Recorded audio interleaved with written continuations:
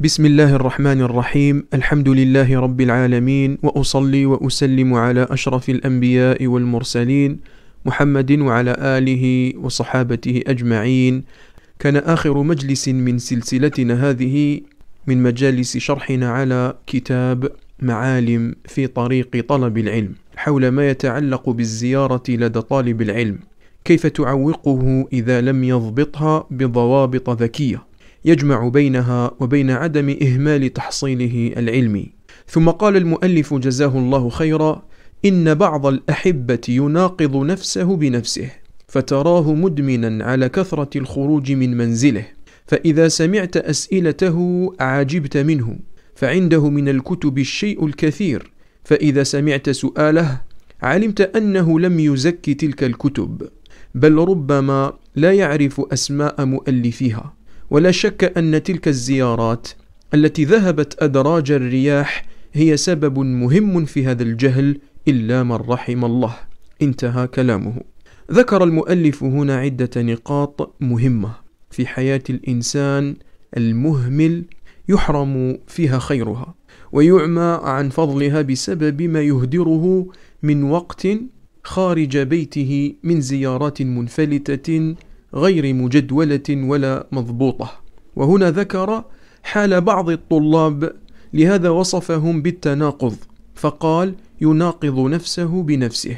وجه التناقض أنه نذر وقته لله كي يكون طالب علم وفي نفس الوقت هو يهدر وقته خارج البيت باسم الزيارات. والأصل في طالب العلم خاصة الا يضيع شيئا من وقته. إذا تمكن من ذلك لأنه يعلم لو أن الله يعمره في الأرض عمر نوح أو آدم عليهما السلام فإنه لن يأتي على أقطار العلم كله.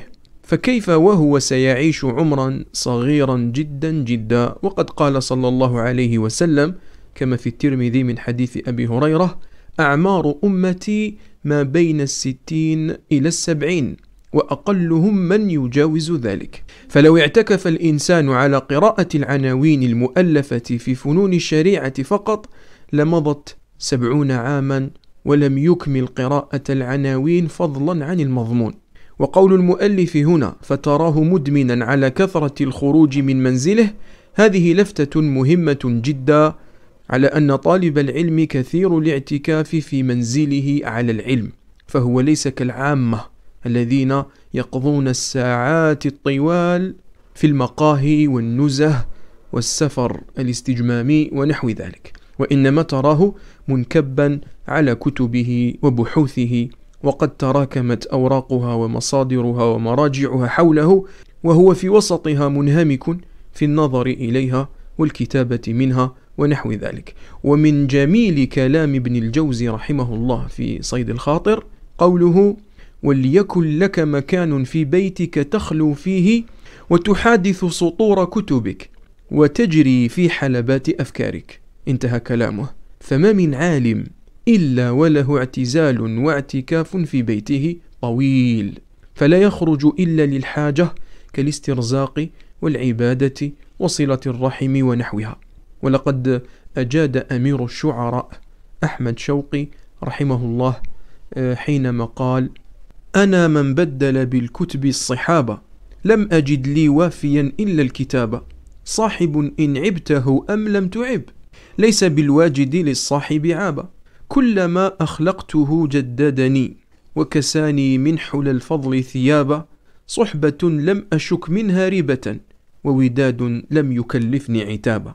الكتب خير صحبة وهي أوفى من كثير من الناس باعتبار جوانب عدة. وخير ما في الكتاب أنه يحفظ لك وقتك وبه تستثمره فيما هو نافع لا محالة. وطالب العلم والعلماء يجدون لذة في ملازمة البيوت لما في تلك الملازمة من إعانة على التعلم وتفرغ إلى التصنيف والكتابة. وكانوا يرون أن العزة في هجر الناس لأن الإنسان لا يسلم من أذاهم. وأكثرهم لا يعرف للعالم ولطالب العلم حقه. ولهذا قال القاضي أبو الحسن علي بن عبد العزيز بن الحسن الجرجاني رحمه الله ما تطعمت لذة العيش حتى صرت للبيت والكتاب جالسا ليس شيء أعز عندي من العلم فلا تبتغي سواه أنيسا إنما الذل في مخالطة الناس فدعهم وعش عزيزا رئيسا. فجميع أصناف الناس العالم مستغن عنها وعن صحبتها.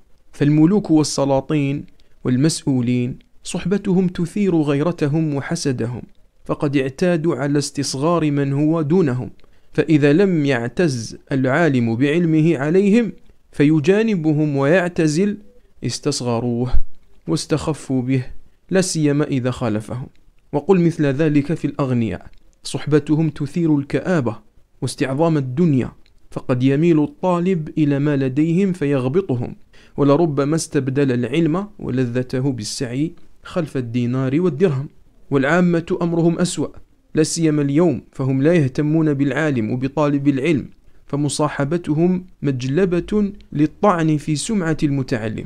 وقد قيل لأبي العباس أحمد بن يحيى بن ثعلب توحشت من الناس جدا فلو تركت لزوم البيت بعض الترك وبرزت للناس كانوا ينتفعون بك وينفع الله بك. فمكث ساعة ثم أنشدهم قائلا إن صحبنا الملوك تاه علينا واستخفوا كبرا بحق الجليس أو صحبنا التجار صرنا إلى البؤس وصرنا إلى عداد الفلوس فلزمنا البيوت نستخرج العلم ونملأ به بطون الطروس وفي قول المؤلف عن هذا الصنف المكثر للخروج وفي نفس الوقت يدعي الطلب فإذا سمعت أسئلته عجبت منه وذلك لأن له زمن طويل في ادعائه للطلب فكثير من الطلاب له سنوات طويلة يظهر فيها أنه يطلب العلم فإذا سمعت سؤالا له عجبت وقلت في نفسك أمثل أمثل هذا يصدر منه هذا السؤال؟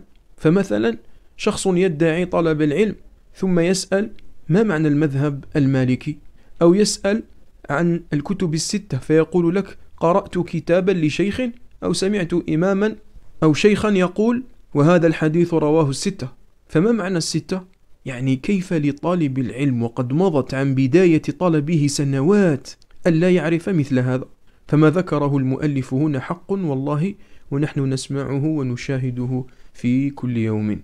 وفي قول المصنف فعنده من الكتب الشيء الكثير فإذا سمعت سؤاله علمت أنه لم يزك تلك الكتب بل ربما لا يعرف أسماء مؤلفيها. نعم وكم رأينا من أناس قد اتخذ مكتبة عظيمة في بيته فقط للزينة. وهذه عادة في الكثير من الناس أن يشتري كتابا ولكن لا يدري لماذا اشتراه ولا كيف اشتراه ثم يضعه في مكتبته ولا يجعل له جدولا ولا خطة ولا منهجية. والواجب على الإنسان أن يشتري الكتب لحاجته إليها. وإذا حصل كتابا لا بد أن يجعل له خطة يقرأه بها أو يرجع إليه متى ناسب ذلك الشيء. وقوله لم يزكي تلك الكتب أي بقراءتها والنظر فيها. فتسمع سؤالا له يقول فيه يا شيخ هل يجوز أن أتوضأ بماء تغير بالصابون نوعا ما؟ وفي بيته الروضة الندية في شرح الدرر البهية لمحمد صديق خان رحمه الله أو تجده يسأل مثلا فيقول يا شيخ هل القبض في الصلاة واجب؟ وفي مكتبته كتاب صفة صلاة النبي للألباني رحمه الله فهذا دليل على أن كتبه التي في بيته لم يزكها ولم تزكه ومن ذكاء بعض الطلاب أن جعل لنفسه فهرسة لمكتبته حيث أنه كلما اشترى كتابا دونه في دفتر وذكر بجنب عنوانه المؤلف ومضمون الكتاب في الجملة ثم ينظر في هذا الدفتر كل مرة فإذا صادف حاجة علم أن الكتاب الفلاني يتضمن الكلام عنها فيرجع إلى مكتبته. ومن باب العدل والإنصاف وحتى لا أنسى هذه النقطة نقول إن امتلاك الكتب في حد ذاته قربة وعبادة إذا صحت نية مالكها وإن لم يقرأها. فقصار أحواله أنه يموت ويأتي من ينتفع بها بعده فيأخذ أجره وهذا إذا صحت نيته. ثم عاد المؤلف وذكر لك سبب هذه المظاهر السيئة في بعض المنسوبين لطلب العلم فقال ولا شك أن تلك الزيارات التي ذهبت أدراج الرياح هي سبب مهم في هذا الجهل إلا من رحم الله فالزيارات المنفلتة يا إخواني التي تكلمنا عنها في المجالس السابقة هي سبب لهذا الجهل القتال ولهذه الأوقات المهدرة التي من المفترض أن تصرف في الكتب قراءة وبحثا واستفادة.